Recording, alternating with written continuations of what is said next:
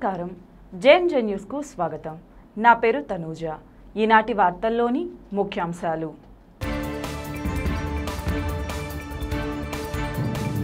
రాష్ట్రానికి తీవ్రమైన ద్రోహం చేసిన ప్రధాని మోడీకి రాష్ట్రంలో పర్యటించే హక్కు లేదని ఆగ్రహం వ్యక్తం చేసిన కాంగ్రెస్ నాయకులు. వైసీపీ ప్రభుత్వం తొలగించిన మైనారిటీ సంక్షేమ పథకాలు తిరిగి ప్రవేశపెట్టాలని టీడీపీ మైనార్టీ కమిటీ ఆధ్వర్యంలో నిరసన. ఒంగోలు పట్టణంలో ఘనంగా వంగవీటి మోహనరంగ డెబ్బై ఐదవ జయంతి వేడుకలు.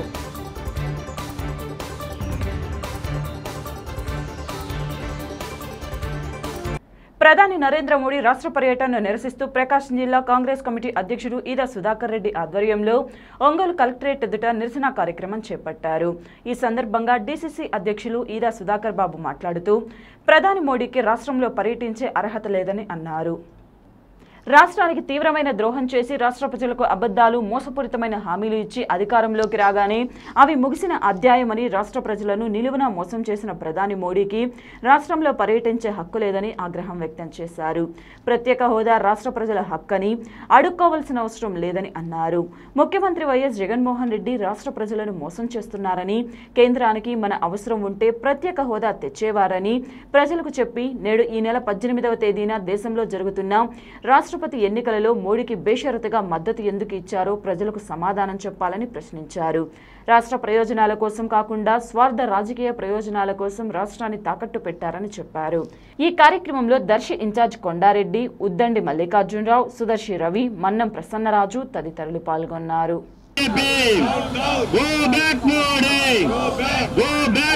చేసిన నరేంద్ర మోడీ ఆంధ్ర రాష్ట్రాన్ని నాశనం చేస్తున్న నరేంద్ర మోడీ. ఆంధ్ర రాష్ట్ర ప్రత్యేక హోదా.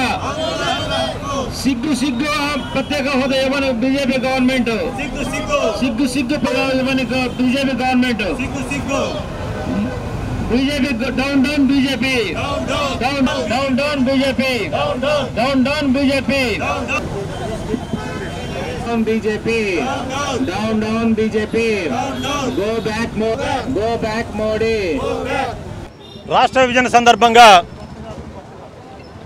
కాంగ్రెస్ పార్టీ ఆనాడు రాష్ట్రాన్ని సస్యశ్యామలం చేసేందుకు గాను రాష్ట్రాభివృద్ధికి తోడ్పడేటువంటి విధానంలో భాగంగా మరి ప్రత్యేక తరగతి హోదాని ఐదు సంవత్సరాలు ప్రకటించినటువంటి విషయం అందరికీ తెలిసిందే. మరి దాంతోపాటు పోలవరం జాతీయ ప్రాజెక్టు అలాగే రైల్వే జోను కడప ఉక్కు కర్మాగారం వెనుకబడినటువంటి జిల్లాలకి బుందేల్ఖండ్ ప్యాకేజీని కొన్ని లక్షల కోట్ల ఆర్థిక ప్యాకేజీ రాష్ట్ర రాజధాని నిర్మాణం కోసం కూడా ప్రకటించినటువంటి పార్టీ కాంగ్రెస్ పార్టీ.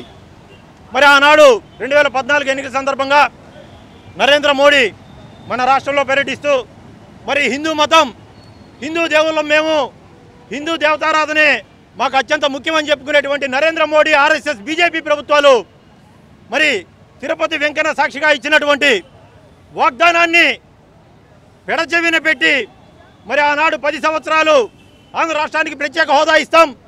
ఢిల్లీని తలదనేటువంటి రాజధానిని మేము ఆంధ్ర రాష్ట్రానికి ఇస్తాము. అలాగే అన్ని రంగాల్లో కూడా ఆంధ్ర రాష్ట్రాన్ని పఠిస్తూ ఉంటాడు. నేను రాష్ట్రానికి ప్రత్యేక హోదా నరేంద్ర మోడీని అడుగుతున్నాను. నా చేతుల్లో ఏమీ లేదు. ఇరవై మూడు మంది ఎంపీలు ఇరవై రెండు మంది ఎంపీలు ఇచ్చినా కూడా నేనేం చేయలేకపోతున్నాను. బీజేపీని తల వంచేటువంటి అవకాశం బలం నా దగ్గర లేదని చెప్తున్నాడు. అయ్యా జగన్మోహన్ రెడ్డి గారు మీ స్వార్థ రాజకీయ ప్రయోజనాల కోసం మీ కేసులు ఎత్తేయించుకోవడం కోసమే మీరు ప్రధాని నరేంద్ర మోడీని అమిత్ షాని కలుస్తున్నారు కానీ రాష్ట్ర ప్రయోజనాల కోసం రాష్ట్రానికి ప్రత్యేక హోదా సాధించడం కోసం మీరు నరేంద్ర మోడీని కానీ అమిత్ షాని కలవట్లేదు. అదే కనుక జరిగే పని అయితే మీరు ఈరోజు మీ చేతిలో ఉన్నటువంటి సువర్ణావకాశాన్ని ఎందుకు దారి విడుచుకుంటున్నారు? ఆంధ్ర రాష్ట్రానికి ప్రత్యేక హోదా మీరు ఎందుకు అడగట్లేదు? రాష్ట్రానికి ప్రత్యేక హోదా ఇవ్వండి. రాజధానికి నిధులు ఇవ్వండి. పోలవరం జాతీయ ప్రాజెక్టుగా నిధులు ఇవ్వండి రైల్వే జోన్ ఇవ్వండి. కడప ఉక్కు కర్మాగారం విశాఖని ఈరోజు ఉక్కు కర్మాగారాన్ని ప్రైవేటు పరం చేస్తున్నారు మీరు. ఇవన్నీ కూడా ఆపండి. ఆపితేనే ప్రత్యేక హోదా ఇస్తేనే మేము ఆంధ్ర మీకు ఓట్లు వేస్తామని చెప్పేసి మీరు ఎందుకు అడగకుండా మీరు బేషరతుగా రాష్ట్రపతి ఎలక్షన్లో బీజేపీకి మద్దతిస్తున్నారు రాష్ట్ర ప్రజలందరూ కూడా చెప్పాల్సినటువంటి అవసరం ఉందని చెప్పేసి మేము కాంగ్రెస్ పార్టీ తరఫున అడుగుతూ Narendra Modi go back BJP BJP నశించాలనేటువంటి నిదా నినాదంతో కాంగ్రెస్ పార్టీ ముందుకెళ్తా ఉంది. కాంగ్రెస్ పార్టీతోనే రాష్ట్రాభివృద్ధి సాధ్యం. కాంగ్రెస్ పార్టీతోనే యువకులకు ఉద్యోగాలు వస్తాయి. కాంగ్రెస్ పార్టీతోనే ప్రత్యేక హోదా వస్తుంది. కనుక రాష్ట్ర ప్రజలందరూ కూడా వచ్చే ఎలక్షన్లో కాంగ్రెస్ పార్టీని ఆదరించండి. రాష్ట్రాభివృద్ధిని సాధించుకుందామని చెప్పేసి మేము కాంగ్రెస్ పార్టీ తరఫున తెలియజేస్తూ ఉన్నాం. సిగ్గు లేకుండా మన భారత ప్రధాని మోడీ ఆంధ్రప్రదేశ్ ప్రజల్ని మోసం చేసి ప్రత్యేక హోదా ఇస్తారని సిగ్గు లేకుండా చెప్పి ఈరోజు ఆంధ్రప్రదేశ్కు ఏ మొహం పెట్టుకుని వస్తాడని మేము అడుగుతా ఉన్నాం. ఆంధ్రప్రదేశ్కి ప్రత్యేక హోదా ఇవ్వకుండా ఒక మట్టి కుండ ఒక నీళ్ళు తీసుకొచ్చి ఆంధ్రప్రదేశ్ ప్రజల్ని మోసం చేసినటువంటి మోడీని కాంగ్రెస్ పార్టీ తరఫున గోబ్యాక్ గోబ్యాక్ అని మేము మోడీని తరిగొట్టడానికి మేము సిద్ధంగా ఉన్నాం కాంగ్రెస్ పార్టీ తరఫున ప్రజలు కూడా సిద్ధంగా ఉండాలి అలాగే మోడీ చేసే ప్రతి విషయాలకి ప్రతి పనికి మన ఆంధ్ర రాష్ట్ర ముఖ్యమంత్రి జగన్మోహన్ రెడ్డి గారు ఎందుకు సపోర్ట్ చేస్తున్నాడో అర్థం కావట్లేదు ఇక్కడ ఇక్కడ టీడీపీ కూడా ఈ విషయంలో మాట్లాడాలి మోడీని గోబ్యాక్ అని వాళ్ళు కూడా మాట్లాడాలి టీడీపీ వాళ్ళు మాట్లాడాలి. జగన్మోహన్ రెడ్డి గారు ఆంధ్రప్రదేశ్ని సర్వనాశనం చేసి ఆంధ్రప్రదేశ్ ప్రజల్ని ఆంధ్రప్రదేశ్లో ఉద్యోగస్తులు ఉద్యోగస్తుల్ని మోసం చేసిన ప్రభుత్వం ఇంతవరకు ఎప్పుడు చూడలేదు మేము. ఉద్యోగస్తులు శాలరీలు వాళ్ళు డిఏలను తీసుకొని ఎస్సీ ఎస్టీలని మోసం చేసి ఎస్సీ ఎస్టీలకు రావాల్సిన సప్లై నిధులను మోసం చేసి ఎస్సీ ఎస్టీలకు రావాల్సినటువంటి ఎస్సీ కార్పొరేషన్లు వీటిని కూడా సర్వనాశనం జగన్మోహన్ రెడ్డి కూడా మేము తీవ్రంగా కాంగ్రెస్ పార్టీ నుంచి ఖండిస్తా ఉన్నాం. ప్రకాశం జిల్లా కాంగ్రెస్ పార్టీ అధ్యక్షులైన ఈదా సుధాకర్ రెడ్డి గారి ఆధ్వర్యంలో నరేంద్ర మోడీ ఆంధ్రాకు వస్తున్న సందర్భంగా మూకుమ్మడిగా ఆంధ్రప్రదేశ్లో ఉన్న కాంగ్రెస్ శ్రేణులు మొత్తం కూడా go back go back Narendra Modi go back అనే నినాదంతో ఈరోజు మొత్తాన్ని నరేంద్ర మోడీని ప్రశ్నించే విధంగా జనాలందరి తరఫున మాట్లాడుతుంది కాంగ్రెస్ పార్టీ. కా ప్రత్యేక హోదా ఇస్తానని మోసం చేసిన బీజేపీని ఈ ఆంధ్రప్రదేశ్లో తిరగటానికి లేదు అనే విధ నిదానంతో కాంగ్రెస్ పార్టీ ముందుకొచ్చి బీజేపీ ప్రతినిధి అయిన ప్రధానమంత్రి నరేంద్ర మోడీని ఆంధ్ర నుంచి గోబ్యాక్ అనే నినాదంతో ఈరోజు దేశం మొత్తంగా కూడా కాంగ్రెస్ పార్టీ నిరసన కార్యక్రమం చేపట్టింది. ఈ కార్యక్రమంలో ప్రతి ఒక్కరు కూడా భాగస్వాములయ్యి నరేంద్ర మోడీ చేసిన కుతంత్రాలను ఇకనైనా జనాలు గుర్తించాలని చెప్పని పంటల బీమా పథకం పరిహారం కింద నగదు ఇస్తామని ముఖ్యమంత్రి ప్రకటించారని రాష్ట్ర వ్యాప్తంగా యాభై వేల మంది ఉన్నారని వారందరికీ బీమా పథకం ప్రకటించాలని ఆంధ్రప్రదేశ్ రైతు సంఘం కార్యదర్శి జమలయ్య అన్నారు. సిపిఎం కార్యాలయంలో జరిగిన మీడియా సమావేశంలో ఆయన మాట్లాడుతూ పరిహారం విషయంలో ప్రకాశం జిల్లాకు తీవ్ర అన్యాయం జరిగిందన్నారు. వారం రోజుల పాటు ప్రత్యేక స్పందన కార్యక్రమం పెట్టి అర్హులైన వారికి నష్టపరిహారం ఇవ్వాలని డిమాండ్ చేశారు. భవిష్యత్తులో వ్యవసాయ మీటర్లకు వ్యతిరేకంగా ఉద్యమం చేపడుతున్నట్లు ఆయన ప్రభుత్వాన్ని హెచ్చరించారు. త్రీ హెచ్పి మోటార్కి పదిహేను వందలు వస్తూ ఉండదు. రెండు కనెక్షన్లు మూడు కనెక్షన్లు కూడా ఉంటాయి. రెండు మూడు కనెక్షన్లు రైతుకి పని పది నెలలు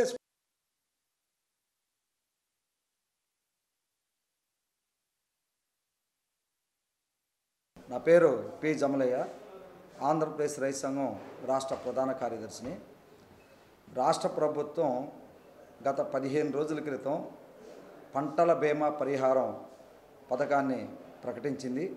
రెండు వేల తొమ్మిది వందల డెబ్బై ఏడు కోట్ల రూపాయలు రెండు వేల ఇరవై ఒకటి ఖరీఫ్లో నష్టపోయిన పంటలకి పరిహారం కింద ఇస్తున్నామని చెప్పేసి సాక్షాత్ ముఖ్యమంత్రి జగన్మోహన్ రెడ్డి చేతి మీద సత్యసాయి జిల్లాలో విడుదల చేశారు. కానీ రెండు వేల ఇరవై ఒకటి ఖరీఫ్ సీజన్లో నష్టపోయిన రైతులందరికీ పరిహారం దక్కలేదు. పంటలు దాదాపు యాభై లక్షల ఎకరాల్లో పంటలు దెబ్బతిన్నాయి. ముప్పై వేల కోట్ల రూపాయలు రైతాంగం నష్టపోయారు. ఈయన ముష్టి రెండు వేల ఏడు వందల యాభై ఏడు కోట్ల రూపాయలు ఇచ్చేసి పంటలు చేసుకోమని చెప్పడం అంటే సరైనది కాదు.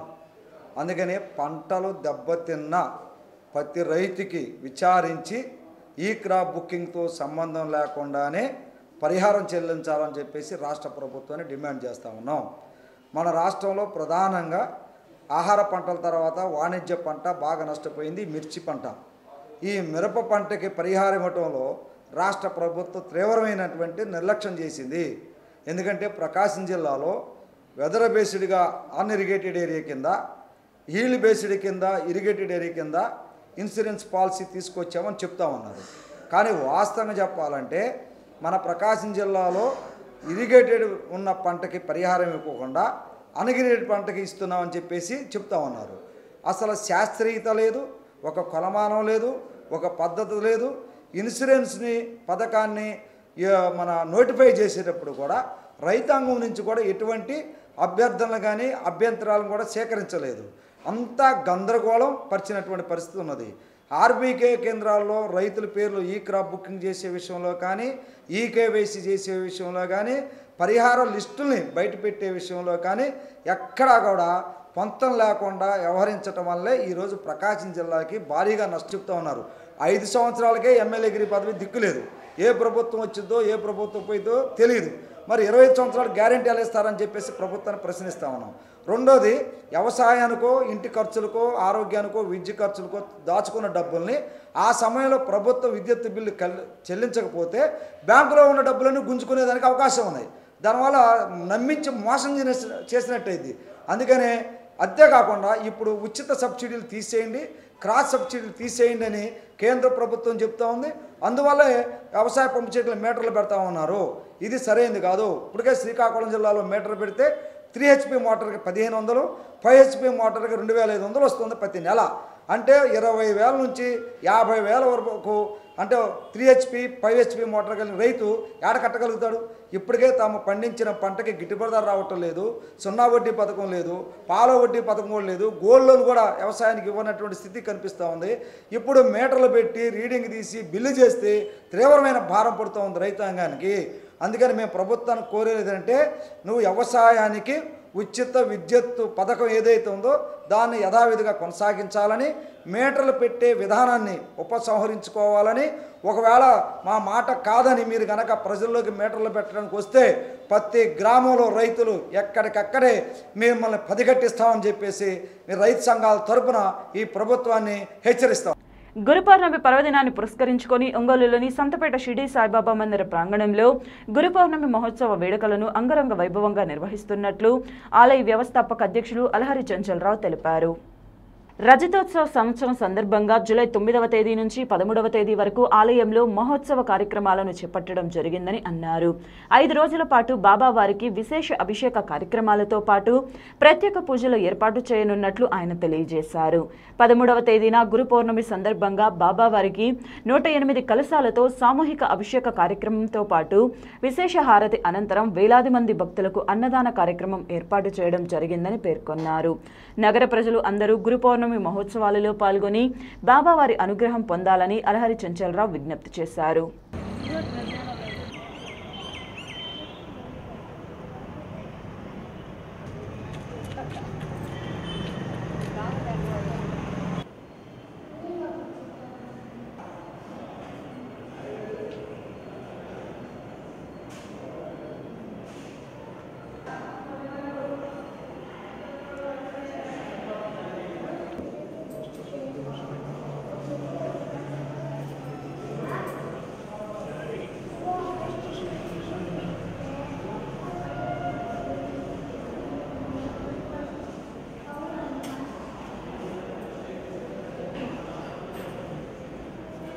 సాయిరామ్ మన ఒంగోలు సంతపేట షిరిడి సాయిబాబా మందిర ప్రాంగణంలో గురు పౌర్ణమి మహోత్సవాలు ఈ నెల తొమ్మిది ఏడు రెండు వేల ఇరవై రెండు నుండి పదమూడు ఏడు రెండు వేల ఇరవై రెండు దాకా ఐదు రోజులు కార్యక్రమాలు చేయాలని నిర్ణయించడం జరిగింది. కాబట్టి గత రెండు సంవత్సరాల నుంచి కూడా కరోనా గుండా కార్యక్రమాలు పెద్దగా చేయలేకపోయినా కూడా ఈ సంవత్సరం గురు పౌర్ణాన్ని ఐదు రోజులు చేయాలని నిర్ణయించాం. కాబట్టి ఐదు రోజుల కార్యక్రమాలు భక్తులందరూ కూడా ఆహ్వానిస్తూ ఉన్నాం. తేదీ తొమ్మిది ఏడు రెండు వేల ఇరవై రెండు ప్రారంభమైనటువంటి కార్యక్రమాలన్నీ కూడా తొమ్మిది ఏడు రాత్రి ఏడు గంటలకి బాబావారికి సాహస దీపాలంకరణ సేవతో ప్రారంభమవుతుంది. కాబట్టి భక్తులందరూ కూడా సాహస దీపాలంకరణ సేవకు రావాల్సిందిగా ఆహ్వానిస్తున్నాం. అలాగే పదో తారీఖున సామూహిక గురుచరిత్ర పారాయణం ఏర్పాటు చేశాం. పారాయణం చేసేటువంటి భక్తులందరికీ కూడా పుస్తకాలు ఉచితంగా ఇవ్వటం జరుగుతుంది. పారాయణం అనంతరం కూడా ఉదయం తొమ్మిది గంటలు ప్రారంభించేటువంటి పారాయణం పూర్తయిన తర్వాత వాళ్ళందరికీ కూడా ఆ పుస్తకాలు ఉచితంగా ఇవ్వటం జరుగుతుంది. అలాగే పారాయణకు వచ్చినటువంటి భక్తులందరూ కూడా వారికి భోజన వసతులు కూడా ఏర్పాటు చేస్తూ ఉన్నాం. అలాగే పదకొండో తారీఖున సామూహిక సాయి సత్యవ్రతాలు ఏర్పాటు చేశాం. కాబట్టి భక్తులందరూ కూడా సామూహిక సాయి సత్యవ్రతాల్లో పాల్గొల్సిందిగా మనం చేస్తున్నాం. రాత్రి ఏడు గంటలకి కోలాట భజనలు కూడా ఏర్పాటు చేస్తున్నాం ఈ సందర్భంగా. అలాగే పన్నెండో తారీఖున సామూహిక సాయి నామ జపాలు కూడా ఏర్పాటు చేస్తున్నాం. జపమాలన్నీ కూడా మందిరం వారు ఏర్పాటు చేస్తున్నారు. కావున భక్తులందరూ కూడా ఉదయం ఎనిమిది గంటలకు వచ్చేసి సాయి నామ జపాల్లో పాల్గొనసిందిగా కూడా మనవి చేస్తున్నాం. అలాగే రాత్రి ఏడు గంటలకి విశేషంగా జరిగేటువంటి దత్తాత్రేయ స్వామివారికి పదకొండు వేల గులాబీలతో విశేష పూజా కార్యక్రమం కూడా ఏర్పాటు చేస్తున్నాం. కాబట్టి అలాగే మనం పదమూడో తారీఖున బాబావారికి జరిగేటువంటి గురు పౌర్ణమి ఆ రోజున విశేషంగా జరుగుతుంది. ఉదయం నూట ఎనిమిది కలశాలతో గంగాజలంతో బాబావారికి అభిషేకం ఉంటుంది. తొమ్మిది గంటలకి బాబాకి సామూహిక జరిగేటువంటి గురు పూజ కార్యక్రమం సంతపేట సాయిబాబా మందిలో ఏర్పాటు చేస్తున్నాం. అలాగే పన్నెండు గంటలకి అన్న సంతపణ కార్యక్రమం గత రెండు సంవత్సరాల నుంచి కూడా మనం అన్నసంతర్పణం చేయలేకపోయాం కాబట్టి ఈ సంవత్సరం కొన్ని వేల మందికి భక్తులందరికీ కూడా అన్నసంతర్పణ ఏర్పాటు చేస్తున్నాం గురు పౌర్ణమి రోజున. కాబట్టి మీ అందరూ కూడా కుటుంబ సమేతంగా మన సంతపేట సాయిబాంధనానికి రావాల్సిందిగా ఆహ్వానిస్తున్నాం. ఆ రోజు రాత్రి ఏడు గంటలకి సాయి యువసేన ఆధ్వర్యంలో విద్యుత్ దీప అలంకరణతో మేళ తాళాలతో భజ భజంత్రులతో ఎంతో విశేషంగా ఈ యొక్క కార్యక్రమాన్ని షిడిలో ఏ విధంగా జరుగుతుందో అదేవిధంగా సంతపేట సాయిబాబా మందిరంలో జరుగుతుందని మనవి చేసుకుంటూ ఉన్నాం. కావున భక్తులందరూ కూడా సంతపేట సాయిబాబా మందిరం జరిగేటువంటి ఈ యొక్క గురు పౌర్ణమి ఐదు రోజుల కార్యక్రమాల్లో కూడా ప్రతి ఒక్కరు కూడా ఉదయం సాయంత్రం కార్యక్రమాలకు విచ్చేసి సాయి ఆశీస్సులు పొందవలసిందిగా మనవి చేస్తున్నాం. అలాగే ప్రతి ఒక్కరు కూడా ఈ కార్యక్రమాలకు విచ్చేసి పేరు పేరున అందరికీ తెలియజేస్తున్నాం. అన్న సందర్భంగా కుటుంబ సమేతంగా మీ అందరూ కూడా వచ్చి గురు మహాప్రసాదాన్ని స్వీకరించవలసిందిగా మనవి చేస్తున్నాం. వైసీపీ ప్రభుత్వం తొలగించిన మైనార్టీ సంక్షేమ పథకాలను తిరిగి ప్రవేశపెట్టాలని కోరుతూ తెలుగుదేశం పార్టీ మైనార్టీ సెల్ ఆధ్వర్యంలో ధర్నా కార్యక్రమం చేపట్టారు. ఒంగోలులోని కలెక్టర్ కార్యాలయం ఎదుట జరిగిన ధర్నా కార్యక్రమంలో టీడీపీ మైనార్టీ నాయకులు పాల్గొని తమ నిరసనను తెలియజేశారు. ఈ సందర్భంగా మైనార్టీ సెల్ నాయకులు మాట్లాడుతూ ముఖ్యమంత్రి వైఎస్ జగన్మోహన్ రెడ్డి అధికారంలోకి వచ్చిన తర్వాత మైనార్టీ పథకాలను పూర్తిగా రద్దు చేశారని ఆరోపించారు. రద్దు చేసిన దుల్హన్ పథకం విదేశీ విద్య రంజాన్ తోఫా వంటి కార్యక్రమాలు వైసీపీ ప్రభుత్వం అమలు చేయాలని డిమాండ్ చేశారు. మైనార్టీ ఓట్లతో గద్దెనెక్కిన జగన్మోహన్ రెడ్డికి మైనార్టీ సోదరులు తగిన బుద్ధి చెప్పాలన్నారు.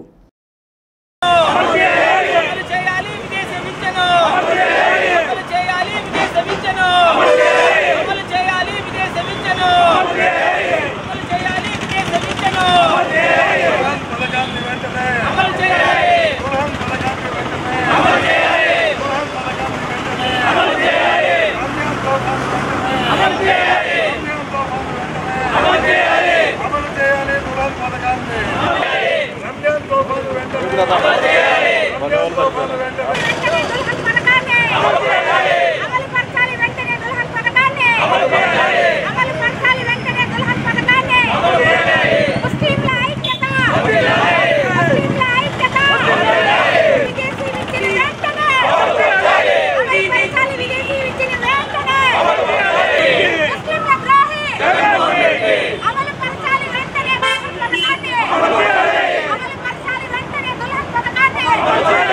నుంచి రెండు వేల పంతొమ్మిది వరకు తెలుగుదేశం పార్టీ అధికారం ఉన్నప్పుడు మైనార్టీల కోసం అనేక సంక్షేమ ప్ర- పథకాలను ప్రవేశపెట్టింది. రెండు వేల పంతొమ్మిది అధికారం వచ్చిన జగన్ రెడ్డి రెడ్డి ప్రభుత్వం ఈ పథకాల మొత్తాన్ని అనగదొక్కింది ముఖ్యంగా ఆ రోజు దిల్హన్ పథకం పేద కానిటువంటి ముస్లిమ్స్ పేద ప్రతి అర్హులైనటువంటి ప్రతి ముస్లిం పేద ప్రజలందరికీ యాభై వేల రూపాయల చొప్పున దుల్హన్ పథకం అందిస్తే ఆ పథకాన్ని అధికారంలో వచ్చిన వెంటనే తీసేయడం జరిగింది.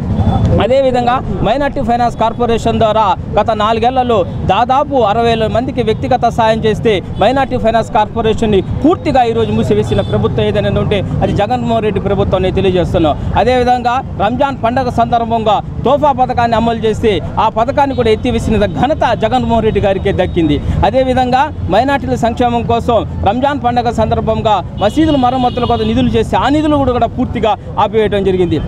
రాబోయే కాలంలో జగన్మోహన్ రెడ్డి ఏ ఏదైతే ముస్లిం ఓట్లతో గెలిచి ముస్లింల అధికారంలోకి వచ్చిన ఈ జగన్మోహన్ రెడ్డి ప్రభుత్వం రాష్ట్ర వ్యాప్తంగా ఉన్న నలభై ఐదు లక్షల మంది ముస్లింస్లకు తీవ్రమైన అన్యాయం చేసిన ఘనుడు ఎవరున్నారంటే జగన్మోహన్ రెడ్డి అని మీ పత్రికా ముఖ సమావేశంగా తెలియజేస్తున్నాం. అదేవిధంగా రాబోయే ఎన్నికల్లో మైనార్టీ ప్రజలందరూ తెలుగుదేశం పార్టీకి పెద్ద ఎత్తున మద్దతు పలికి జగన్మోహన్ రెడ్డి పై గద్దె దించి ఈ పథకాలన్నిటికీ పునర్వైభవం చంద్రబాబు నాయుడు గారు తీసుకొస్తారని మేము పత్రికా మరొక సమావేశంగా తెలియజేస్తున్నాం. చంద్రబాబు నాయుడు గారు మరియు ఆంధ్ర రాష్ట్ర మైనార్టీ సెల్ ఆదేశాల ప్రకారం మన జగన్మోహన్ రెడ్డి గారు ఇచ్చిన వాగ్దానాల్ని తుంగలో తొక్కుతూ ముస్లింలకి దుల్హన్ పథకాన్ని రద్దు చేసి తన సహజ స్వరూపాన్ని తెలియపరుచుకున్నారు.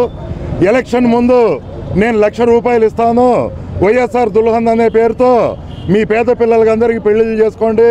చంద్రబాబు నాయుడు గారు దుల్హన్ పథకంతో యాభై వేలే ఇచ్చారు.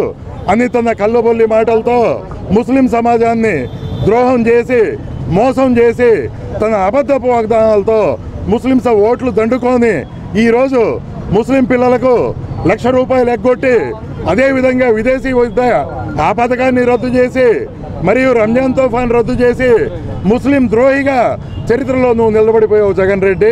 రేపు ఎలక్షన్లో ముస్లిం సమాజం నీకు తగిన బుద్ధి చెప్పి చంద్రబాబు నాయుడు గారిని ఈ రాష్ట్ర ముఖ్యమంత్రిని చేసుకొని మరలా దుల్హన్ పథకం కానివ్వండి విదేశీ విద్య కానివ్వండి రంజాన్ తోఫా కానివ్వండి స్టేట్ మైనారిటీ ఫైనాన్స్ కార్పొరేషన్ నుంచి ముస్లిం సోదరులకు వచ్చి ప్రతి దీన్ని మేము మరలా తెచ్చుకుంటామని ఈ సందర్భంగా మీకు తెలియజేసుకుంటున్నాం. చిన్న మధ్య తరహా సూక్ష్మ తరహా పరిశ్రమల స్థాపన కోసం యూనియన్ బ్యాంక్ ఆఫ్ ఇండియా ద్వారా రుణ సదుపాయం కల్పిస్తామని Union Bank of India deputy region అధికారి హరిబాబు తెలియజేశారు. పరిశ్రమల స్థాపన కోసం ఒంగోలులోని గాంధీ రోడ్డులో నూతనంగా ఏర్పాటు చేసిన ఎంఎస్ఎంఈ బ్రాంచ్ను ఆయన ముఖ్య అతిథిగా విచ్చేసి ప్రారంభించారు. ఈ బ్యాంకు ద్వారా ఔత్సాహికవేత్తలకు రుణ సదుపాయం కల్పిస్తామని అన్నారు. అతి తక్కువ కాలంలోనే రుణాలను అందిస్తామని పేర్కొన్నారు. ఈ కార్యక్రమంలో AGM Sivakotaiah senior branch manager Prasad Sahu తదితరులు పాల్గొన్నారు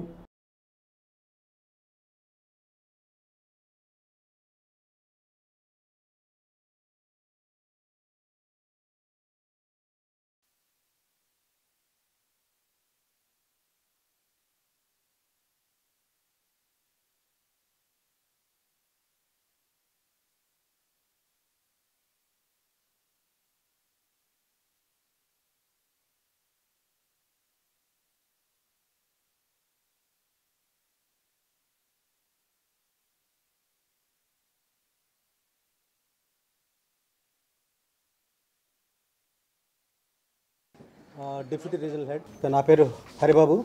Deputy regional head regional office Ongole. ఈరోజు ఎంఎస్ఎంఈ ఫస్ట్ బ్రాంచ్ అంటే ఆల్ ఇండియా లెవెల్లో ఇరవై బ్రాంచెస్ని ఐడెంటిఫై చేసి చేయటం చేయడం జరిగింది. అందులో ఒక branch Ongole.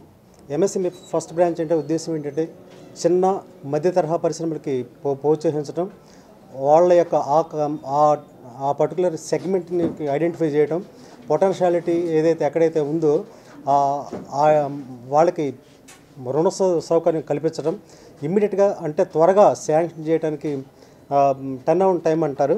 దాన్ని వీలైన త్వరలో దాన్ని శా అలాంటి లోన్స్ అని కూడా శాంక్షన్ చేయడం కోసం ఈరోజు ఈ బ్రాంచ్ ఇక్కడ స్థాపించబడింది. అయితే ఈ బ్రాంచ్లో ఉన్నటువంటి ప్రత్యేకం ఏంటంటే ఓన్లీ ఎంఎస్ఎంఈ లోన్స్ ఉంటాయి వేరే అదర్ లోన్స్ ఉండవు. ఇక్కడ ఉన్నటువంటి ప్రస్తుతం ఉన్నటువంటి వేరే లోన్స్ కూడా అన్నిటి కూడా వేరే బ్రాంచెస్ షిఫ్ట్ చేయబడతాయి. ఓన్లీ ఎంఎస్ఎంఈ లోన్స్ మాత్రమే ఇక్కడ ఉంటాయి. లోకల్లో ఉన్న బ్రాంచెస్ బ్రాంచెస్లో ఉన్న ఎంఎస్ఎంఈ లోన్స్ అన్నీ కూడా ఇక్కడికి ట్రాన్స్ఫర్ చేయబడతాయి. కాబట్టి ఇది టోటల్గా ఎంఎస్ఎంఈ లోన్స్ మాత్రమే ఉంటాయి. వేరే అదర్ లోన్స్ ఉండవు. దీని ముఖ్య ఉద్దేశం ఏంటంటే ఎంఎస్ఎంఈ బారోవర్స్తో కష్ట కనెక్టివిటీ పెంచుకోవడం కోసం వాళ్ళ రిలేషన్షిప్ పెంచుకోవడం కోసం వాళ్ళకి అవసరాన్ని వీలైనంత త్వరలో తీర్చడం కోసం ముఖ్యంగా ఈ ఎంఎస్ఎంఈ ఫస్ట్ బ్రాంచ్ ఈ బ్రాంచ్లో స్థాపించడం జరిగింది. దీని ఈ దీనివల్ల అంటే ఎంఎస్ఎంఈ బారోవర్స్కి చాలా ఉపయోగకరంగా ఉంటుంది. ఇంతకుముందు రెన్యువల్స్ కానీ లేకపోతే కొత్త శాంక్షన్స్ కానీ ఒక బ్రాంచ్లో మేనేజరు అన్నీ చేయటం వల్ల అతనికి నార్మల్గా డిలే అవుతుందన్నమాట. దాదాపు ఒక్కసారి ఒక్కొక్క నెల రెండు నెలల టైం పక్క బ్రాంచ్కి షిఫ్ట్ చేయబడతాయి ఓన్లీ లోకల్గా ఉన్నటువంటి బ్రాంచెస్లో ఎంఎస్ఎంఈ లోన్స్ అన్ని కూడా ఇక్కడికి తేబడుతుంది. కాబట్టి ఫోకస్ ఎంఎస్ఎంఈ బ్రాంచెస్ ఏది సంబంధించి ఏదైతే ఉందో వాటి మీద ఎక్కువగా ఫోకస్ చేసి మార్కెట్లో ఉన్నటువంటి ఫిఫ్టీ పర్సెంట్ ఎంఎస్ఎంఈ లోన్స్ని గ్రాప్ చేయడానికి ఇక్కడ ఉద్దేశించబడింది అనమాట తర్వాత ఇంతకుముందు అయితే ఎంఎస్ఎంఈ లోన్స్ ఇవ్వాలంటే తర్వాత ఎక్కడెక్కడో తిరిగేవాళ్ళు. ఆ బ్రాంచ్ కానీ అక్కడని ఇక్కడని. కానీ ఇది ఒకటే బ్రాంచ్కి తిరగాల్సి వస్తుంది అనమాట ఇంకెవరు ఎవరు లోకల్లో ఉన్న బ్రాంచెస్ బ్రాంచ్ మేనేజర్ పవర్స్ దాటినా తర్వాత యాభై లక్షలు లోన్ దాటినా కూడా అన్ని ప్రపోజల్స్ ఇక్కడికే వస్తాయి. అందరూ ఇక్కడికే రావాల్సి ఉంటుంది అనమాట ఏ బ్రాంచ్లో ఎవరు ప్రపోజల్స్ తీసుకోరు అనమాట ఒకళ్ళు తీసుకున్నా కూడా ఇక్కడికే వస్తాయి. ఇది ఇక్కడ వరకు అయితే ఇక్కడ చీఫ్ మేనేజర్ని పోస్ట్ చేయబడతారు.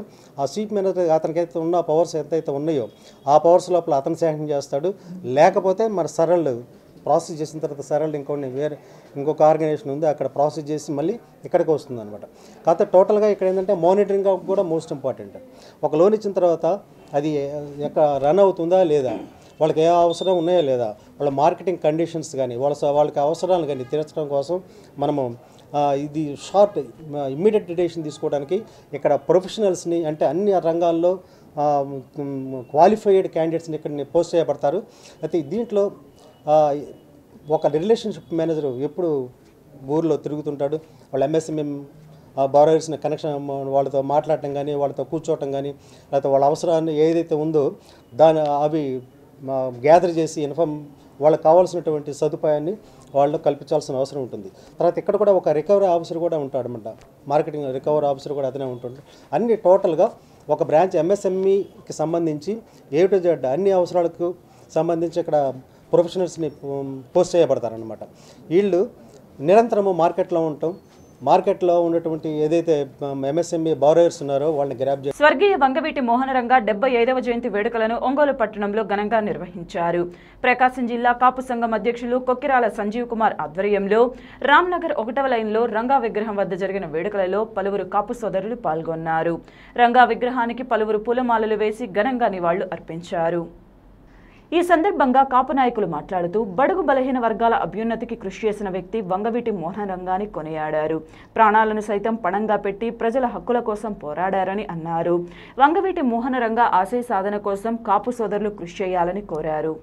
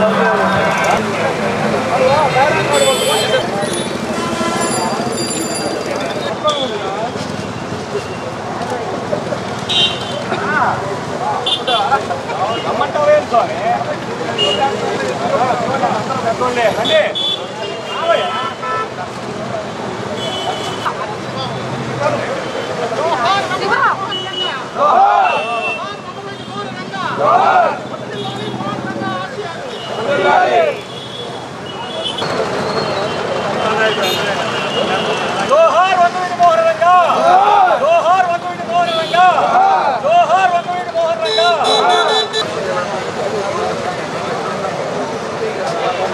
కాపు సంఘం జిల్లా అధ్యక్షుడిగా కొక్కిరాల సంజీవ్ కుమార్. ప్రకాశం జిల్లా ఆధ్వర్యంలో మన ఒంగోలు పట్టణంలో మన బడుగు బలహీన వర్గాల ఆశాజ్యోతి అయినటువంటి శ్రీ వంగవీటి మోహన్ రంగా గారి డెబ్బై ఐదవ డెబ్బై ఐదవ జయంతి వేడుకలు జరుపుకోవడం జరుగుతుంది. ఇది రెండు తెలుగు రాష్ట్రాల్లో అన్ని అన్ని నియోజకవర్గాల్లో జరుగుతూ ఉన్నది. ఈ అదే ఇది పండుగ వాతావరణంగా ఒక ఒక పండుగలాగా చేసుకోవడం జరుగుతుంది.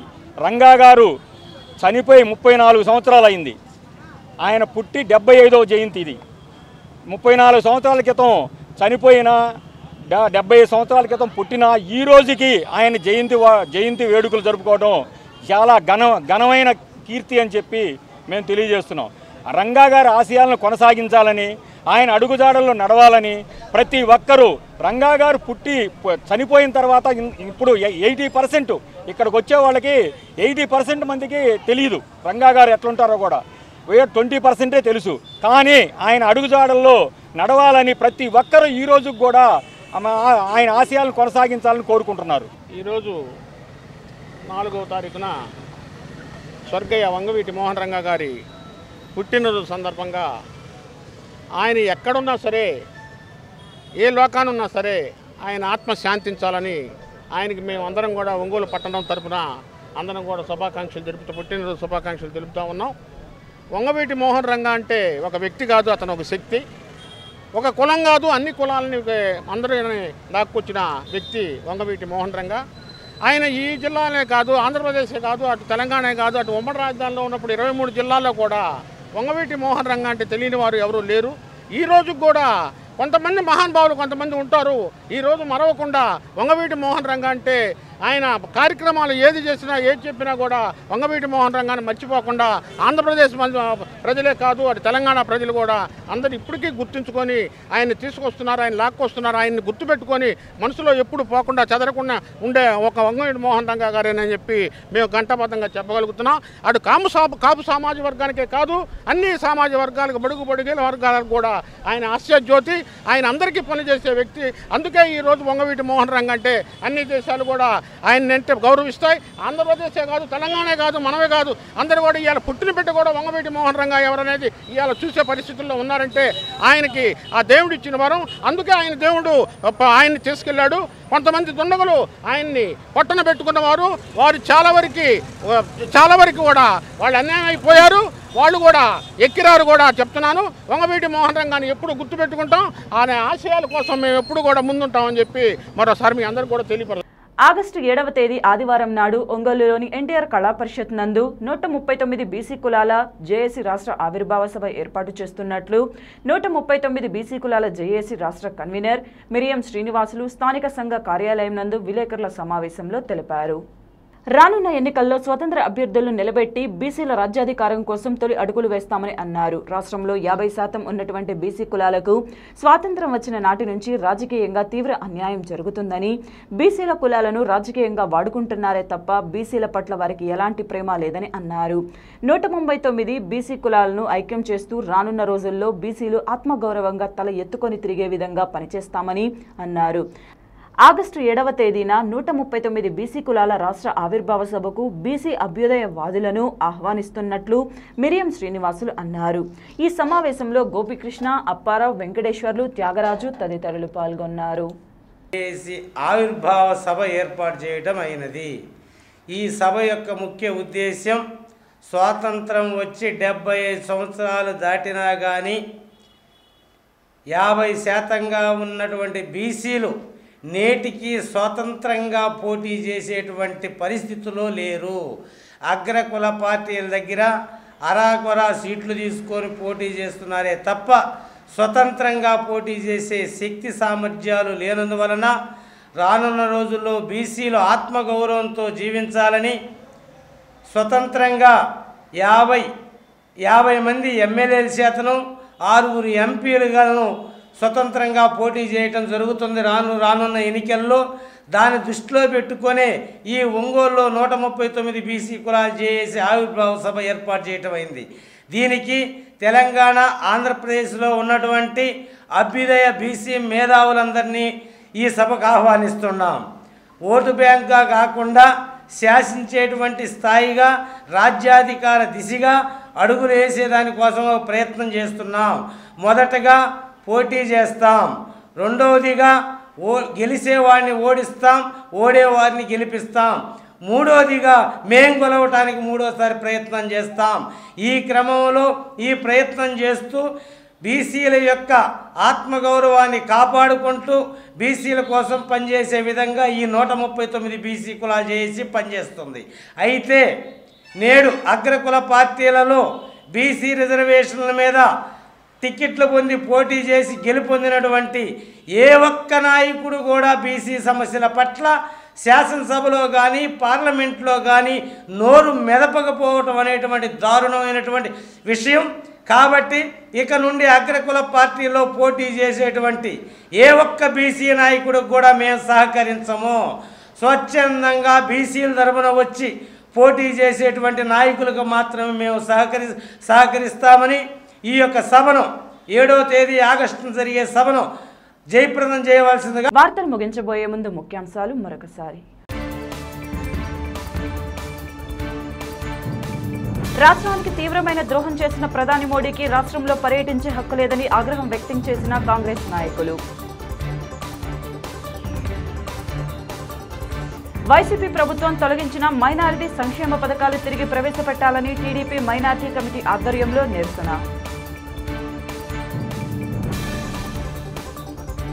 ఒంగోలు పట్టణంలో ఘనంగా వంగవీటి మోహనరంగ డెబ్బై ఐదవ జయంతి వేడుకలు.